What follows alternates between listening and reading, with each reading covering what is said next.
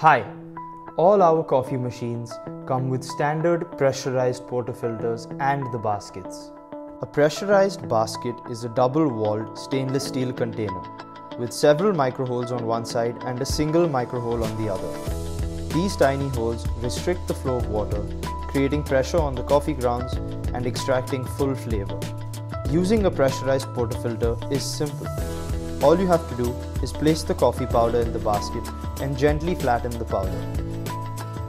Let's take a look at the non-pressurized portafilter, also known as the naked or bottomless portafilter.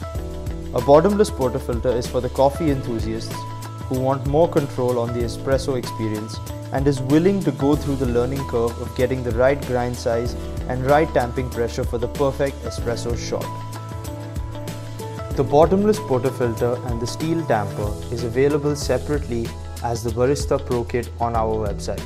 There is also a detailed blog on the science of a bottomless portafilter, a link for which is included below. Thanks for watching.